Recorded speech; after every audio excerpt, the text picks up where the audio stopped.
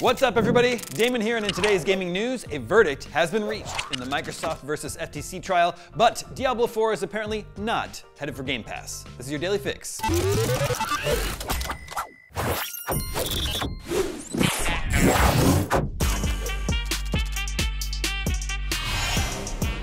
The wait is over, and we have a decision on the recent trial between the FTC and Microsoft. Judge Jacqueline Scott Corley has ruled in favor of Microsoft, denying the FTC's preliminary injunction request.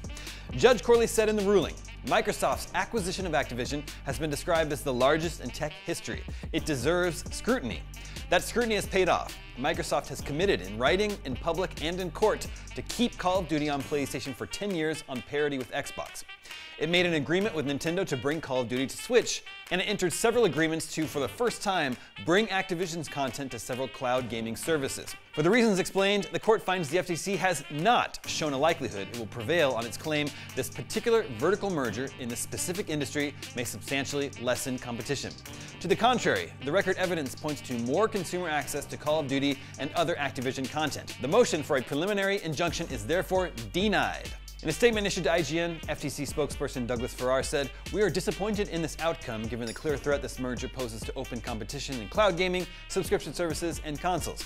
In the coming days, we'll be announcing our next step to continue our fight to preserve competition and protect consumers. The decision leaves the door open for Microsoft to complete the buyout before the July 18th deadline. It could finalize the deal immediately.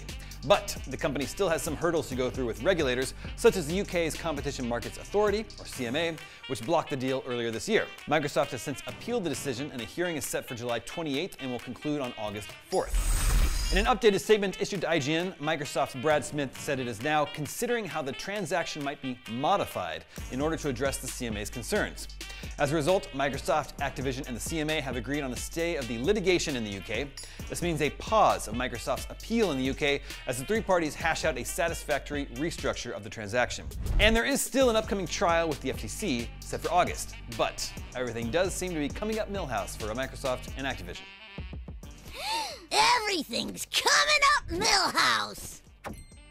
Now, speaking of Activision becoming a part of Xbox, the boss of Blizzard has insisted Diablo 4 will not come to Game Pass amid rumors the action role-playing game is set to hit Microsoft's subscription service. Responding to a tweet that mentioned Diablo 4's availability in Xbox Game Pass, Blizzard president Mike Ybarra said plainly, this is not happening. That's a definitive sounding statement, but it hasn't stopped some fans from wondering whether Diablo 4 will eventually come to Game Pass if Microsoft's proposed $69 billion buyout of Activision Blizzard goes through, which is seeming more and more likely. During the FTC trial, Activision Blizzard boss Bobby Kotick admitted he's not a fan of multi-game subscription services, hence why Activision games have largely failed to appear on them. If the acquisition happens, Kotick acknowledged he'll be stuck with Game Pass whether he likes it or not. He said, I don't agree with the idea of a multi-game subscription service as a business proposition going forwards, but we, Activision and Microsoft, can agree to disagree. And finally today, as Diablo 4 nears the launch of Season 1, players are working through the endgame, hitting the level cap, and completing some of the game's toughest challenges. But for some, that is not enough. For some, the ultimate challenge is hitting enemies for billions of points of damage just five weeks after launch. Last week, Diablo 4 streamer Moxie hit the highest damage ever in a game 957,957,504 hit points. But it didn't take long for Moxie to break through the billion barrier with an incredible 1.8 billion point hit. Since then, a Diablo 4 YouTuber called EchoHack posted a screenshot showing a 2.1 billion hit.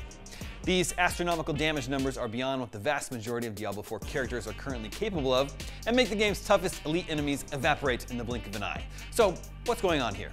Moxie is using a Druid Werewolf build dubbed Lightning Shred 2.0 that lets the character infinitely teleport to enemies and make them vulnerable. It's worth pointing out the importance of the Stormclaw aspect for this build.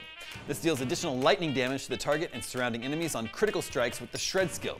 Stormclaw scales the lightning damage in a way that appears beyond the boundaries Diablo 4 has established via what's called double dip damage.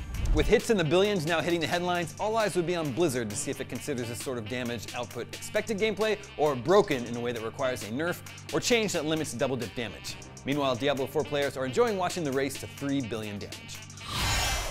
And that is your daily fix for Tuesday, July 11th. Now that you're caught up on the news, check out the official announcement trailer for the making of Karateka. Hey, I'm excited for that. I'm Damon Hatfield, and for all your gaming news, stay tuned IGN.